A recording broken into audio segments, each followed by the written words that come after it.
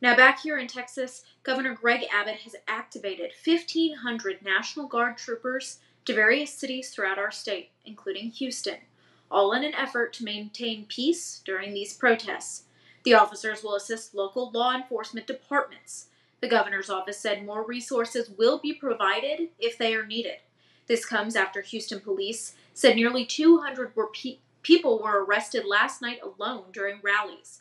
The department said most will be charged with obstructing a roadway. Now